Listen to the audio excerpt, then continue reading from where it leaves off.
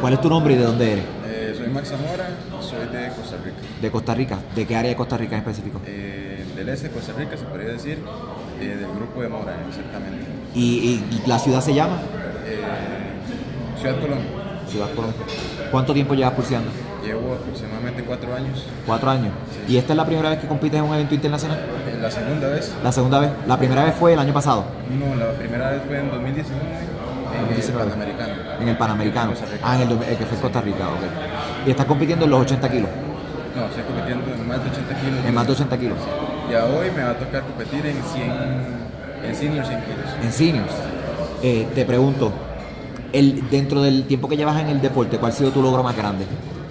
Yo creo que este, el de ayer. El de ayer. Quedar campeón norteamericano. Campeón norteamericano en Ambos brazos. En ambos brazos.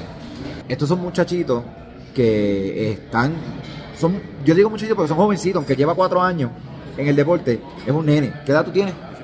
18 años. Este, y, y lo que quiero es que los conozcan para que sepan que los latinoamericanos tenemos el talento y tenemos un talento joven que está creciendo. ¿Qué expectativas tienes para hoy? Primer lugar, primer lugar, ¿estás esperando ganar la categoría? sí. ¿Tienes algún otro compatriota que está en la categoría contigo? Jeffrey. Jeffrey, Jeffrey Oso. Y Jonathan Arrieta. ¿Cuál tú crees que va a ser tu, tu oponente más fuerte en el, en el torneo? Jeffrey y el mexicano. El que le ganó a Jeffrey, digamos. El, el, el, ah, Mendoza. Mendoza. Héctor Mendoza. Sí. Me llamo Sergio Muñoz y soy de Costa Rica, ¿De qué ciudad en Costa Rica? de Alajuela, Grecia. ¿Y de qué club pertenece de allá? ¿Con quién entrena? Con Manuel Vargas del grupo de Occidente. Ajá, que nos estaba saludando en el live ayer, sí, es verdad.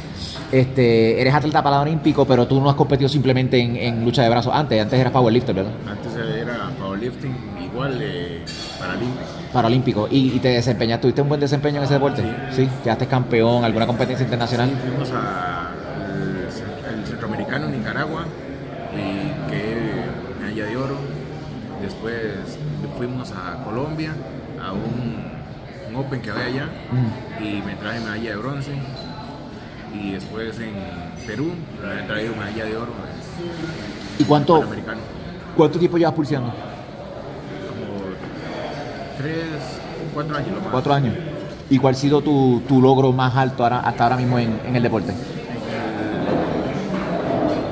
Panamericano pasado, que fue allá en Costa Rica, Ajá. que campeón ambos brazos. Campeón, campeón. El logro más grande que has tenido entonces este, dentro del deporte es el, el del Panamericano pasado. El, el del 2019, que quedaste campeón en ambos brazos.